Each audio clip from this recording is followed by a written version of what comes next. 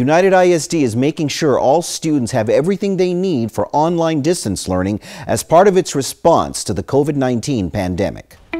The district is providing Chromebooks for students to make sure they can log into their online classes. At United High School, faculty members issued the small computers to students who didn't already have suitable devices. The school set up a drive through pickup to minimize contact and reduce the risk of contagion.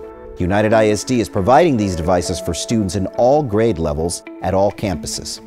The distribution was done in phases as Director of Instructional Technology Judith Garcia explained. We've started a phased rollout. Uh, this first part of the rollout is all students who are in need of a device. Uh, and then once we get additional equipment to come in, which we've already placed orders for, uh, we will be able to offer devices at 100%. Families have been very appreciative of the district's efforts to assure students are properly equipped, as United High School librarian Nidia Rodriguez explained. Parents have been so, so nice when they've come by to pick up the Chromebooks. They are telling us, thank you so much for doing this. They are concerned about, I can't believe you're standing out there in the sun. Do you want to wait in the, in the shade? And then I'll call you when I'm ready with my paperwork. But you know, it's a service we offer for our students. We, we love our students and we love our parents too. Aside from providing devices for students, the district will provide free Wi-Fi for families who don't have internet service at their homes. Mr. Uh, Hector Perez from our IT department has worked with transportation uh, and they're providing 40 buses that will be like mobile hotspots that are going to go out into some of our outer line areas and they have about a four to five block range to allow kids to work from home and use the, the internet service. And then, the, of course, the final phase would be being able to provide a child with a mobile hotspot so that they can um, uh, use them at, at, home during this uh, virtual instruction period that United ISD is going to go through. A fleet of 40 school buses is providing Wi-Fi to areas of the district where access to the internet is scarce or unavailable.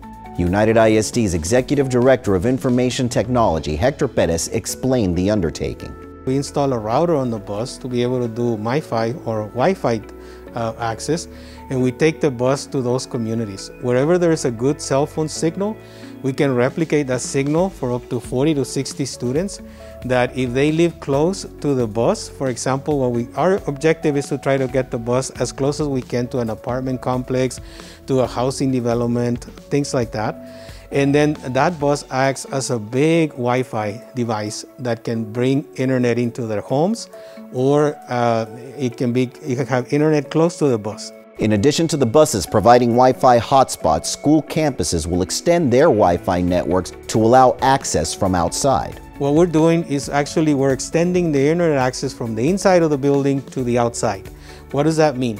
That means that if you're having problems at home, your internet connection is very slow, your Wi-Fi is not working that day, you can drive to our parking lots and you can be there and you can access our internet.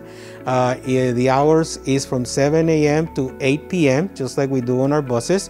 And all you have to do is just drive in. By August 29th, all of our campuses will have internet access on the parking lot. The district will also offer technical support for parents and students who need help. After October 19th, students will have the option of going to their campuses or continue with virtual learning. However, those whose families prefer on-campus learning will not see traditional classroom instruction just yet, as the district will follow city, county, state, and federal guidelines to assure everyone's safety. It'll be a long time before things go back to something that even resembles normal. But all decisions United ISD makes moving forward will be in the best interest of protecting the well-being of our students, their families, and the employees of the district and their families as well. And so, united we stand in mitigating the risks while embarking on another school year in the midst of the COVID 19 pandemic. For United Independent School District, I'm Jose Sanchez.